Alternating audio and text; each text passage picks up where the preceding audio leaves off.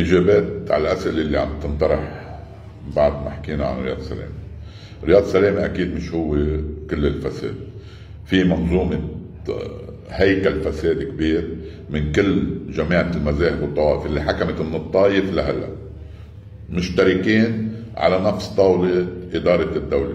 هول كلهم حراميه حجر الأساس اللي بنوا عليه هو رياض سلامه ما بقى حدا يقول لي مش هو لوحده وهذا أكيد مش هو لوحده. الاجابه الثانية قصة الناس اللي عم تنزل على ال ATM ات وعلى البنوك.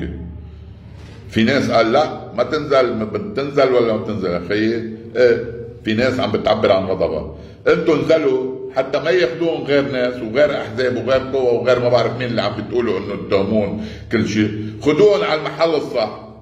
بنك مركزي. مراكز الصرافين الحرامية واللصوص والبنوك. مش انه ما لهم حق يعبروا لا بدهم يعبروا. النقطة الثالثة رياض سلام الأساس ورياض سلام اللي عملوا امبارح تخريب مقصود. وعملية كل يعني عم يقتل الشعب اللبناني وسرقة مصرياته وهو المسؤول عن الحرام الأكبر المجرم اللي سرق مصريات اللبنانيين الأهم من كل هالشيء هلأ ما بده يدفع احتياط الزامي مضبوط بس ليه ما عملها من قبل الحرامي؟ لما كانوا عم يعدوه يوعدوه يعمل رئيس جمهورية ويعطيهم سروق مشان هيك رياض سلامة راسك الأساس وأنت الحرامي الأكبر وإذا بتضرب رياض سلامة بتهر.